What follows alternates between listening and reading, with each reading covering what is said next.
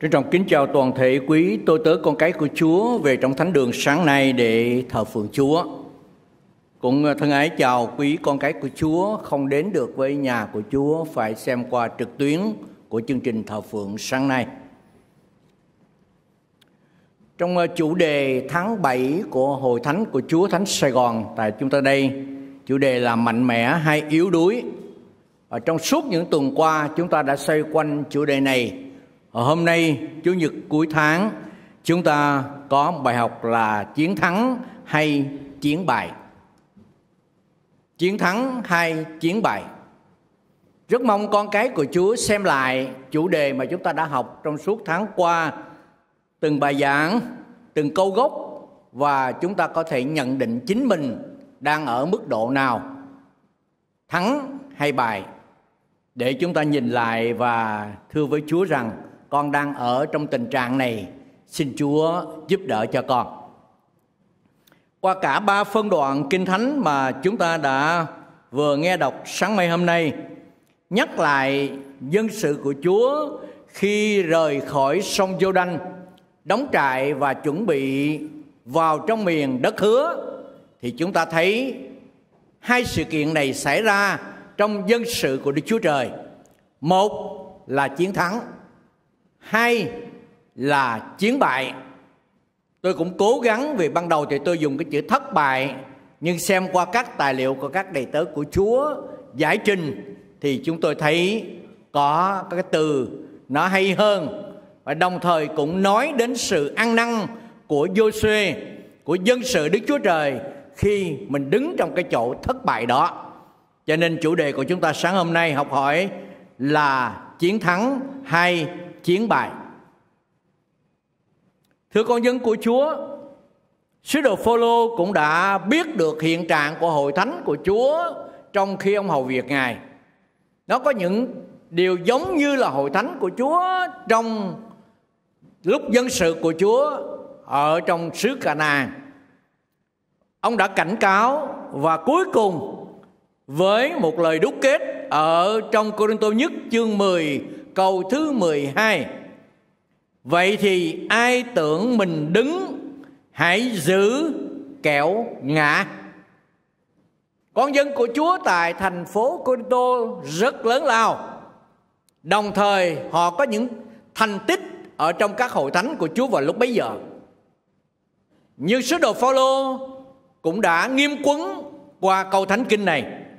Vậy thì ai tưởng mình đứng, hãy giữ kẹo ngã thưa con dân của chúa, chúng ta học tại đây bài học về Jericho sụp đổ và dân sự của chúa lại thất bại trước một Ahi nhỏ bé Giô-xê chương 6 câu 1 đến câu 27 mà chúng ta khi nãy có một phần thánh kinh đọc trong kinh thánh đối đáp đây. Trước nhất chúng ta thấy về cái chỉ thị của Chúa. Chương 6 câu 1 ta đã phó đạo binh Jericho vào tay ngươi.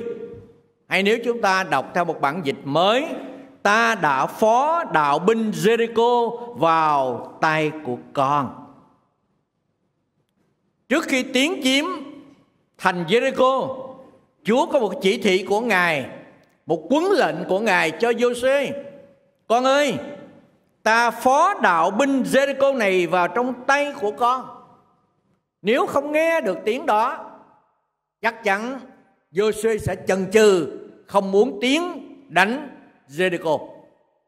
Và đồng thời cũng có thể đó đó là một cái điều nào đó tự phụ và nghĩ rằng tôi tài hơn là môi xe môi xe đã không được vào trong đất hứa, còn tôi vào trong miền đất hứa.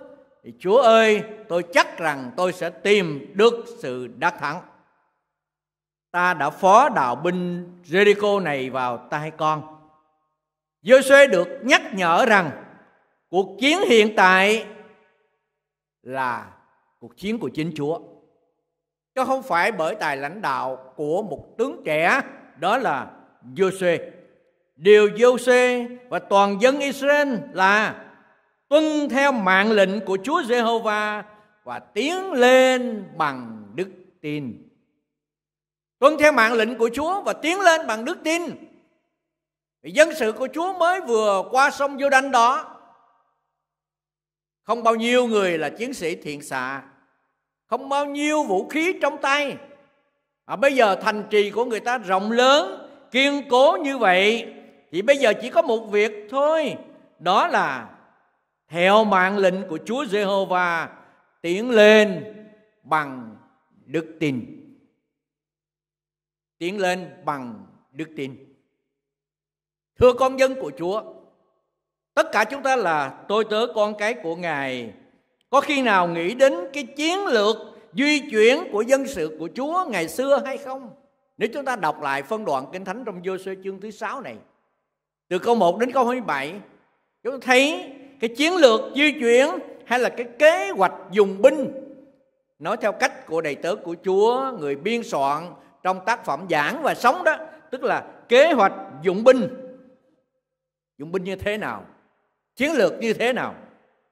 Bảy thầy tế lễ phải đi trước kế đến là hầm giáo ước rồi bảy thầy tế lễ cầm bãi kèn bằng sừng của con chiên đực đó và thổi vang tiếng khi đi chung quanh thành đó. Chúng ta không biết tại sao có một cái sử dụng binh một cách uh, đơn sơ quá như vậy. Đang khi thành trì kiên cố, người ta ở trên thành. Còn mình là một đạo quân hỗn hợp. Nam có, nữ có, trong tay có một ít cái vũ khí của người Israel, đem từ Ai Cập. Đến ở tại nơi đây mà thôi. Thế thì làm sao chiến thắng được thành trì như vậy? Theo điều chúng tôi thấy trong tài liệu của đại tớ của chú Tiến sĩ A.B. Simpson về khải cổ học thành Jericho ở một vị trí thấp hơn mặt nước của địa Trung Hải 250 đến 275 mét. Thành trì mà ở dưới mực nước như vậy, Dầu rằng xem qua có thể dễ lắm bị thủy triều vui lấp, nhưng mà đây là một thành trì kiên cố và dân sự của Chúa không dễ gì đi vào trong thành đó. Giả vậy, cũng trong tài liệu khổ cổ cho biết rằng, thành Jericho còn được gọi là thành cây trà là. Thành của cây trà là. Ngày hôm nay tại Việt Nam của chúng ta, nhiều tỉnh thành cũng xin phép được chính phủ ban giao với các nước tại Trung Đông để đổi lương thực của Việt Nam của chúng ta lấy cây trà là về và trồng ngay trong cái thành phố mới của mình. Nếu con cái của Chúa có cơ hội đi Quy Nhơn ở tại Bình Định, ở tại Phan Rang, chúng ta sẽ khám phá bên những cái vệ đường đó, có rất nhiều cây trà là. Và tôi hỏi một đầy tớ của Chúa, trồng trà là ở đây như vậy, tốn kém lắm hay không? Đầy tớ của Chúa là nó chỉ có 10 triệu một cây thôi một sư.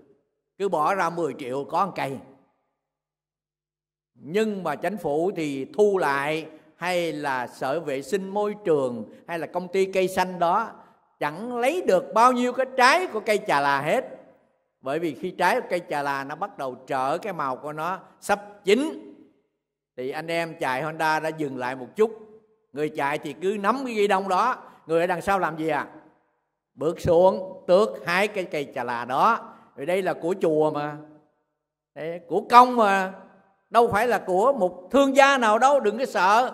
Cho nên cuối cùng thì đúng là thành cây trà là, tức là có cây trà là không mà không có trái bao nhiêu hết nhưng chắc chắn là Jericho không phải là như vậy. Trong lúc bây giờ thời kỳ quân chủ, mà lệnh rất là nghiêm khắc. Khi đã trồng chung quanh như vậy thì để bảo vệ cái môi trường của thành Jericho đó, không dễ dàng gì mà có thể phá cái cảnh quan đó đâu nhưng bây giờ dân sự của Chúa đi chung quanh thành như vậy, cứ mỗi một ngày đi một vòng, rồi đến ngày thứ bảy thì đi bảy vòng. Và linh của Đức Chúa giê va của chúng ta là như vậy. Thưa con dân của Chúa, ngày nay cũng vậy. Trong sự nhắc nhở mà Chúa dành cho mỗi một chúng ta, xin chúng ta xem ở trong Giô-suê chương 5 câu 13 cho đến câu thứ 18 Giô-suê chương thứ 5 câu 13 cho đến câu thứ 18.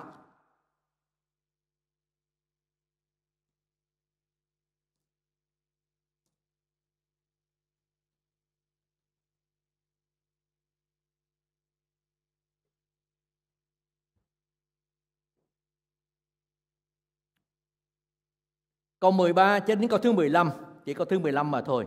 Xin mời con cái của chú cùng đọc. Sải khi Giô-xê đến gần Jericho, ngước mắt lên mà nhìn và thấy một người đứng cầm gươm trần đối diện cùng mình. Joshua đi lại người và nói rằng: Ngươi là người của chúng ta hay là người của kẻ thù nghịch chúng ta? Người đáp rằng: Không, bây giờ ta đến đặng làm tướng đạo binh của Đức Giê-hô-va.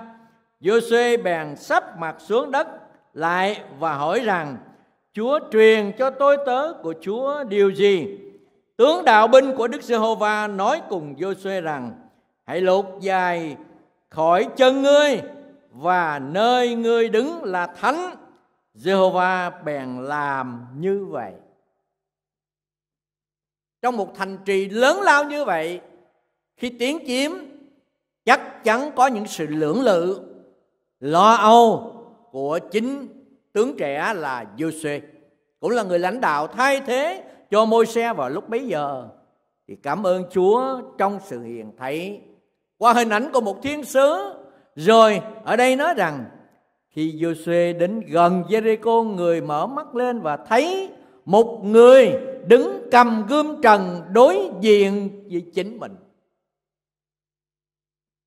Một con người đứng cạnh bên mình đó, cầm gươm trần đó, để xác nhận cho Giô-suê biết rằng ta truyền cho con đánh chiếm Jericho ở đây và ta là tướng đạo binh trong tay của ta có một gươm trần để sẵn sàng chiến đấu cùng với đạo quân của thành Jericho đó.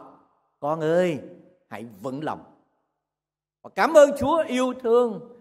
Chính vì sự nhận biết thuộc linh như vậy mà Giô-suê sắp mình xuống lại mà rằng Chúa truyền cho tôi tớ Chúa điều gì? Chúa dạy cho tôi tớ Chúa điều gì? Ở đây nhắc nhở chúng ta biết rằng dầu đánh chiếm Jerusalem, dầu di chuyển chung quanh thành Jericho, nhưng mà phải nhớ rằng đây là chiến trận của Chúa và Ngài đi đầu trong việc đó. Thưa con cái của Chúa, trong nhiều lần đã qua tôi gặp các đầy tớ của Chúa. Đây đó, từ tổng liên hội có, ban đại diện có, các đầy tớ của Chúa cao tuổi có. Anh em hỏi tôi rằng, thấy một sư ít ăn quá, thấy một sư không có sức khỏe giống như ngày xưa, thế thì việc xây dựng đền thờ của Chúa sẽ ra sao? Thì tôi thưa với một sư hội trưởng hai lần và đồng thời cũng thưa với các đệ tớ của Chúa thôi chắc là bỏ cuộc, vì cớ? Đã kéo dài.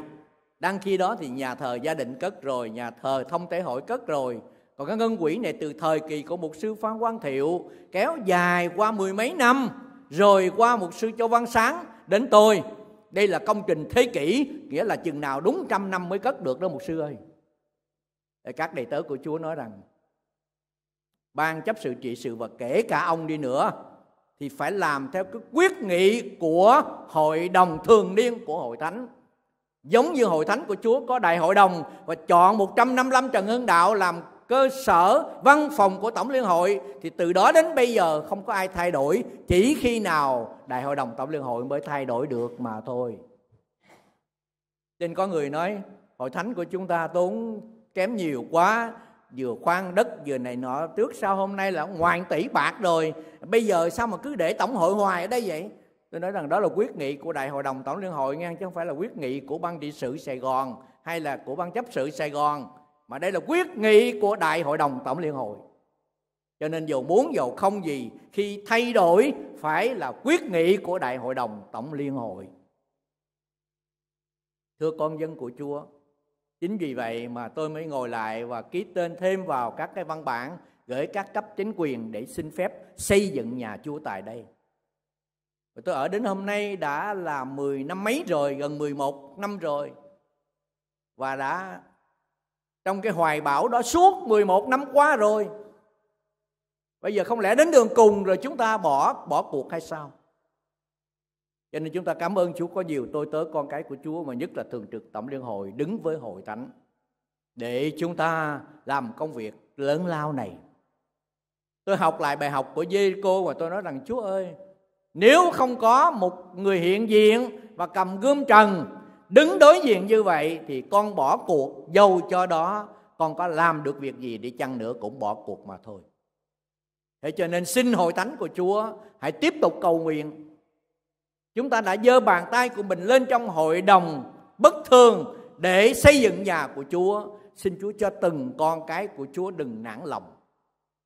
Không có một nhà thờ nào mà xây cất, có đủ tài chánh ngay từ lúc ban đầu cả.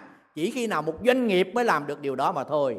Còn con cái của Chúa đều tiến lên bằng đức tin và cũng có thể nói một lời giống như dân sự của Chúa đi chung quanh thành đó, mỗi một ngày một lần. Đến cái ngày thứ bảy đó thì đi bảy lần. Phải cầu nguyện thật nhiều và dư phân hầu việc Chúa. Và không phép đi sáu ngày rồi bỏ ngày thứ bảy. Không phép đi ở trong những lần đầu tiên rồi lần sau chúng ta bỏ cuộc. Nhưng tôi cũng xin nói trước để con cái của Chúa cảm thông cho chúng tôi. Ngày 28 tháng 8 28 tháng 8 năm 2024 thì tôi mãn nhiệm.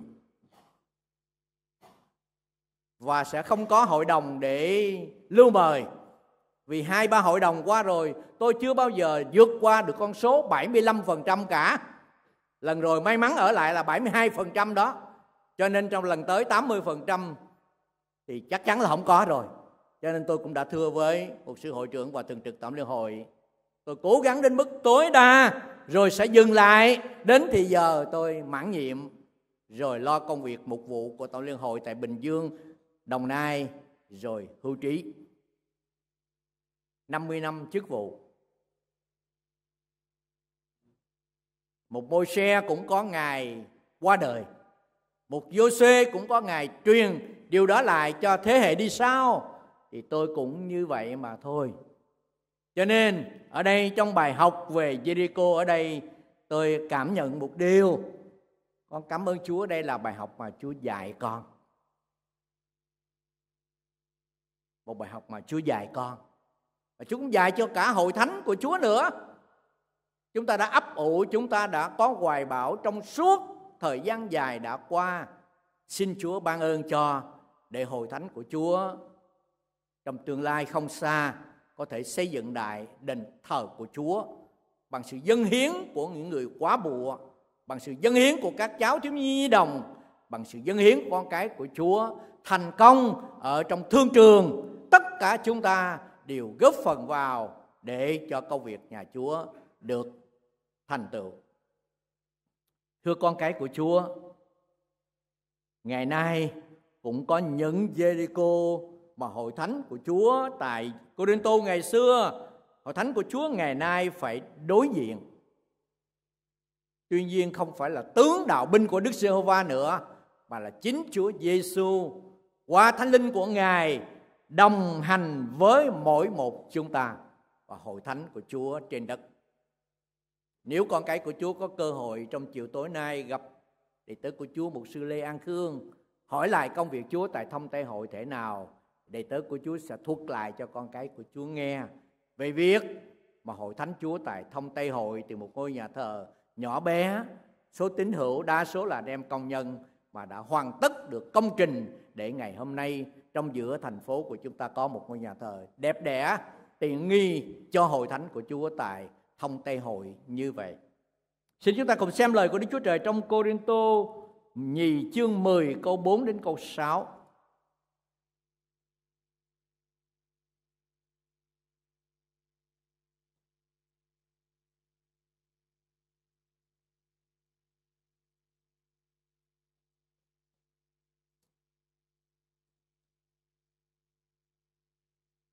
Cô Tô Nhi chương 10 câu 4 đến hết câu thứ 6.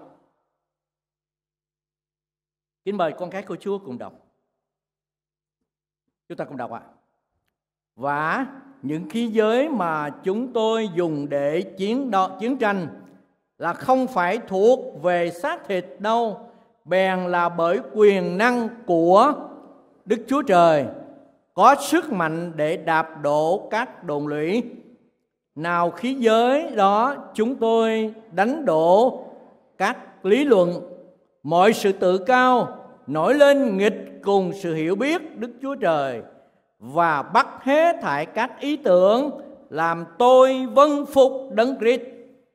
Cũng nhờ khí giới đó, chúng tôi sẵn sàng phạt mọi kẻ chẳng phục khi anh em đã chịu lị trọn rồi. Con cái của Chúa về trở lại và đọc lại Cô Tô Nhì chương thứ 10 như tôi và đọc với con cái của Chúa sáng nay.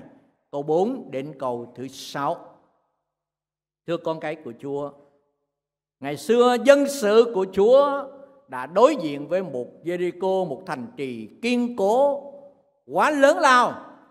Nhưng rồi vâng lệnh của Chúa thì mọi sự đó đã được thành tựu.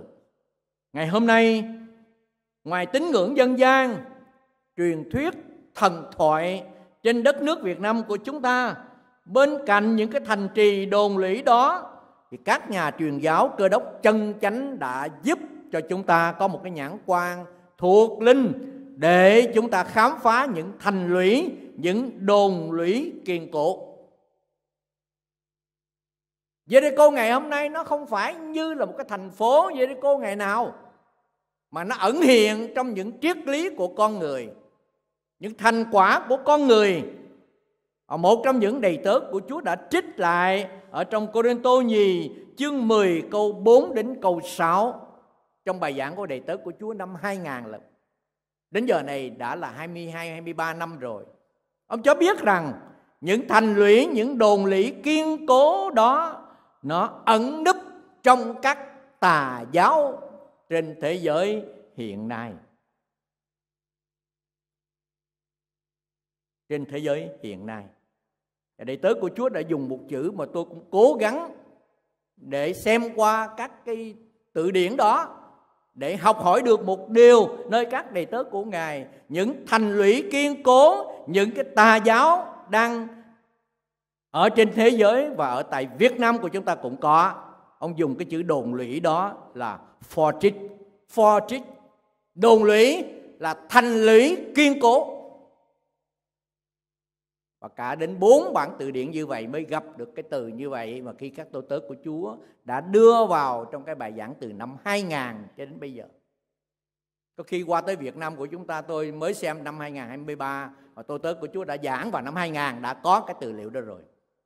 Những cái đồn lũy, những cái thanh lý kiên cố, những cái fortress đang hiện hữu nó giống như một Jericho như vậy trên khắp thế giới này. Tuy nhiên Chúa Giêsu đã phán rằng các cửa âm phủ chẳng thắng được hội đó. Dầu Chúa đã cảnh báo các con sẽ có hoạn nạn trong thế gian, nhưng ta đã thắng thế gian rồi. Tin lành gian chương 16 câu thứ 33. Sở dĩ dân sự của Chúa ngày xưa đắc thắng, sang bằng được Jericho đó, Hebrew chương 11 câu 30 đã chép. Bởi đức tin, các tường thành Jericho sụp đổ. Bởi đức tin, các tường thành Jericho sụp đổ. Thế thì hôm nay, nhiều Jericho lắm, hiện hữu trên thế giới, trên đất nước Việt Nam của chúng ta nhưng rồi cũng sẽ sụp đổ trong một ngày nào đó mà thôi để dân sự của Đức Chúa Trời toàn thắng Xin Chúa cho con cái của Chúa có sự đắc thắng. Trước nhất đắc thắng bản ngã của mình, thắng cái tôi của mình. Rồi nhờ ơn Chúa đắc thắng mọi cái tư dục của thế gian, mọi cái tà giáo đang xâm phạm vào trong hội thánh của Đức Chúa Trời để đưa đến sự toàn thắng cho chính Chúa yêu dấu. Chúng ta đến cái lĩnh vực thứ hai mà không ai trong chúng ta muốn cả nhưng nó lại hiện hữu và nó đến với chúng ta đó là chiến bại hay là thất bại tại thành Ahi. Một thành trì rất lớn thì lại chiến thắng. Một thành trì nhỏ hơn thì lại thất bại. Nhỏ hơn thì lại thất bại. Giô-sê chương 7 câu 1 đến câu 5 mà trong phần Kinh Thánh đối đáp khi trước đây chúng ta có đọc đó. Giô-sê sai thám tử đi đến Ahi. cả Jericho và Ahi nằm trong khu vực miền trung của đất nước Canaan và bây giờ khi đã tiến chiếm được Jericho rồi, thì bây giờ phải chiếm luôn cả thành Ahi nhỏ bé hơn Jericho rất nhiều vì vậy, khi sai các thám tử đến để quan sát thành Ahi đó, thì các thám tử đã gì không cần phải điều toàn dân của Chúa đi chung quanh ở thành Ahi đó. Chỉ cần ba ngàn người là đủ rồi. Chỉ cần một con số nhỏ là đủ rồi. Và chúng ta đã biết rằng các thám tử đã báo tin cho Joshua như vậy. Joshua tin. Người lãnh đạo tin trong quyển sách của đầy tớ của Chúa Tiến sĩ E.B. Simpson đã nói một cái câu, Không biết vì cớ sai men chiến thắng đó Mà Joshua quên sự cầu nguyện chăng?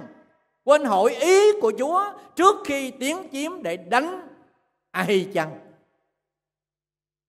Nhưng có một nguyên dân sâu xa Mà chính Joshua không thấy. Để rồi đưa đạo binh của mình đến đánh Ahi đó thì thất bại trong khi ờ, vây thành Jericho và chiến thắng được thành Jericho quý con cái của Chúa nhớ có một trong những người trong Israel đã làm một việc gì mà nó là cái nguyên nhân của sự thất bại của dân sự Đức Chúa Trời tại thành Ahi đó. Con người mang tên là A-can. A-can đã lấy một bộ áo áo choàng Babylon. Và lúc bấy giờ không biết là cái thương hiệu Babylon đó, nó độc đáo như thế nào, nó sang trọng như thế nào. Nhưng mà Akan đã giữ lại cái bộ áo Babylon đó cho chính mình. Hai trăm siết lơ bạc và một nén vàng. Tưởng rằng cả một cái thành trì lớn lao như vậy, một cái chiếc áo hai trăm nén bạc rồi một cái nén vàng như vậy siết lơ bạc và nén vàng như vậy, cũng chắc là gọn gàng lắm mà thôi nhưng nó là nguyên nhân đưa đến sự thất bại của dân Đức Chúa Trời tại thành Ahi, Thưa con cái của Chúa, trong bài học này, chúng ta được nhắc đến trong gia cơ chương 1 câu 14 và câu 15. Nhưng mỗi người bị cám dỗ khi mắc tư dục xuôi dục mình, đoạn lòng tư dục cưu mang sanh ra tội ác. Tội ác đã trọn sanh ra sự chết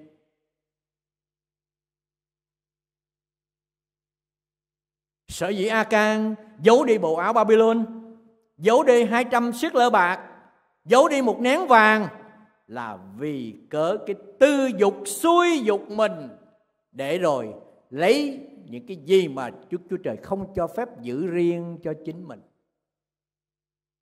Chính điều đó đã đưa đến sự thất bại về sau này không những a can gia đình a can bị ném đá và thân thể của họ phải thiêu trong lửa để trừ cho sạch cái tội lỗi đó ở trong tuyển dân của Đức Chúa Trời.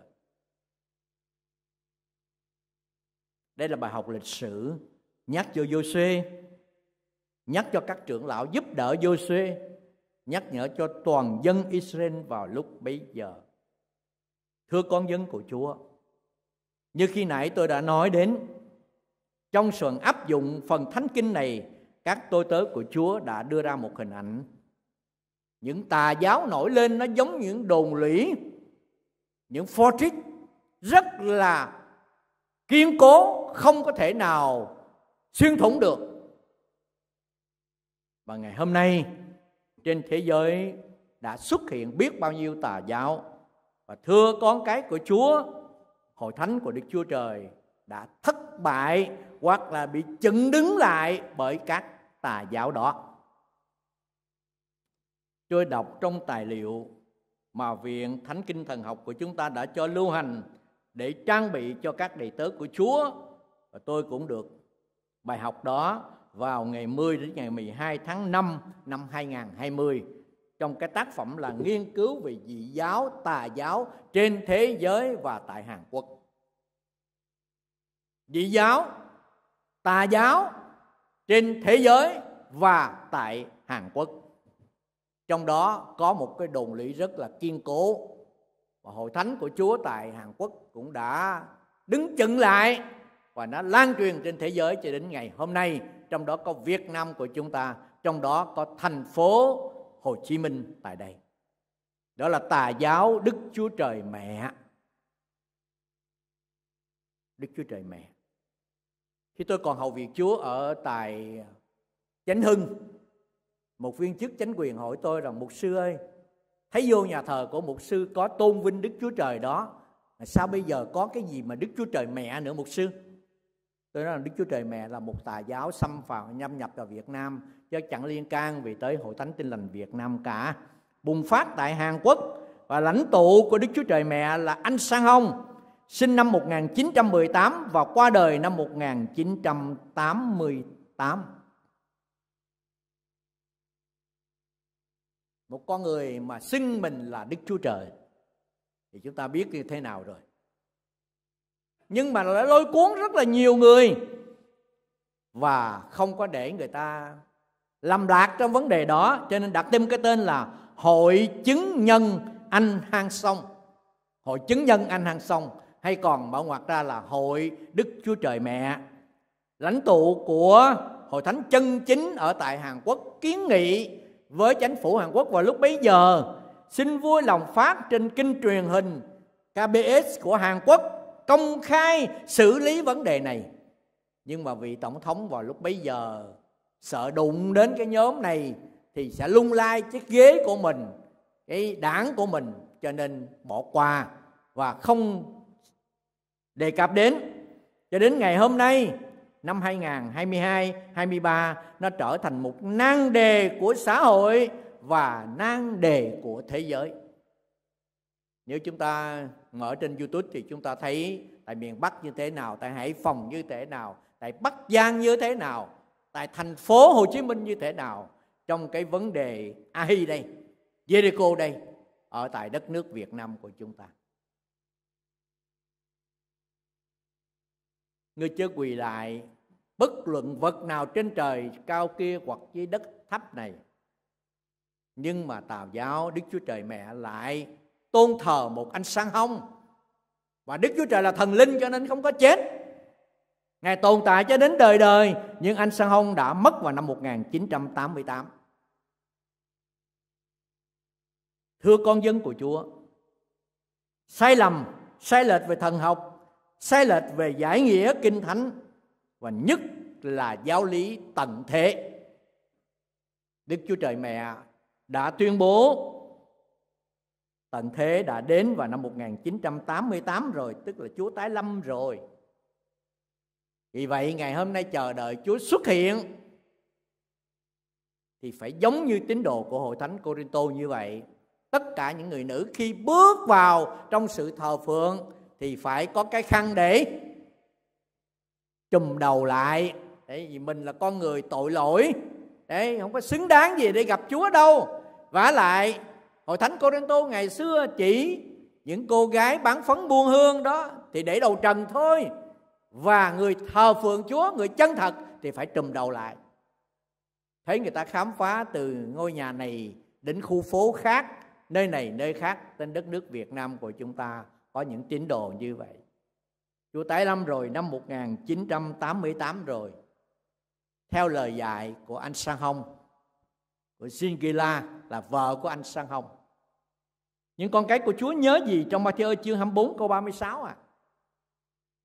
Một câu thánh kinh mà tôi tưởng rằng con cái của Chúa học thuộc lòng, giấu lời Chúa trong lòng để mình không phạm tội cùng Chúa, giữ mình và giữ gia đình của mình nữa.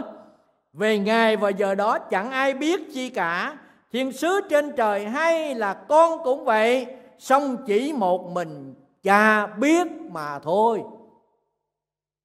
Vì vậy, ông mục sư đó làm gì? Hay là người lãnh đạo đó làm gì? Biết rằng Chúa tái lâm năm 1988 về ngày giờ đó, chẳng ai biết gì cả. Thiên sứ trên trời hay là con cũng vậy. Tức là chính Chúa Giêsu đấy.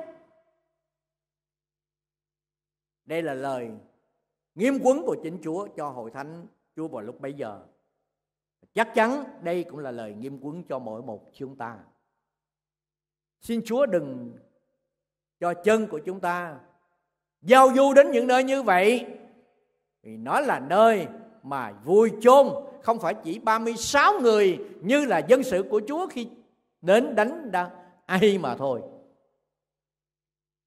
Chúng ta nhớ gì khi lời của Đức Chúa Trời nhắc về cái biến cố ở trong Giô-suê chương thứ bảy đó. Lòng dân sự, thấy sự thất bại đó, thì lòng của họ tan chảy ra như nước. Mới vừa đắc thắng đó, thì bây giờ đã thất bại Sứ đồ Phaolô cảnh báo đến hội thánh của Chúa tại Corinto và cũng báo với mỗi một chúng ta, con dân của Ngài. Nếu trong năm trước chúng ta đắc thắng, thì trong năm nay xin Chúa giữ chúng ta trong sự kiêm nhu để chúng ta tiếp tục đặt thắng. Còn nếu khi nào chúng ta nương dựa vào sự khôn ngoan của chúng ta, sự tự phụ của chúng ta, nó sẽ đưa đến sự thất bại. Đưa đến sự thất bại. Hôm nay trong bài học lịch sử chiến thắng hay chiến bại về câu chuyện thành Jericho, câu chuyện thành Ahi, xin Chúa dạy dỗ mỗi một chúng ta, ban cho chúng ta sự chiến thắng trong danh của Chúa Giêsu. Chỉ một mình Chúa mới ban chúng ta sự chiến thắng đó mà thôi. Chúa cho tất cả chúng ta con cái của Chúa nhờ ơn của Ngài. Để qua đó, sự chiến thắng thuộc về Chúa của chúng ta và danh ngài được vinh hiển, được tôn cao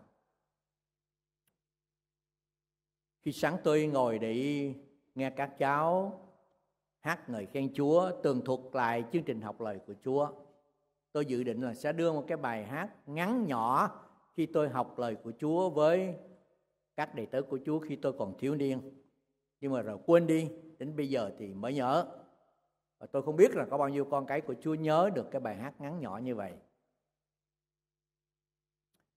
vòng quanh Jericho kiên cố suốt bảy ngày đồng lòng cùng bước một hai ba tư năm hay nữa.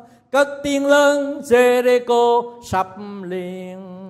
Tôi hát lại ca từ như vậy có con cái của Chúa nào trong cái thế hệ à, thiếu niên như trong thời của tôi biết được bài hát đó qua các đệ tử của Chúa? Xin vui lòng giơ tay lên tôi mời con cái của Chúa cùng hát với tôi thử vòng quanh Jericho kiên cố suốt bảy ngày, đồng lòng cùng bước. Một, hai, ba, tư, năm, hai nữa năm, hai nữa tức là bảy. Bảy ngày ở vòng đó. Cất tiếng lớn, Jericho sập liền. Công ta cho cái đô trưởng thử coi nó có ăn khớp được gì không, hay là pha trưởng. Rồi, xin con gái của Chúa cố gắng để chúng ta ôn lại cái bài hát trong cái chiến thắng dòng quanh Jericho kiên cố, suốt bảy ngày đồng lòng cùng bước. Một, hai, ba, tư, năm, hai nữa. Cất tiếng lớn, Jericho sập liền. Bùm bùm bùm bùm. Cái chữ bùm bùm bùm bùm tức là thành nó đổ xuống đây và chúng ta hát một lần nữa đi để kết thúc bài học của chúng ta.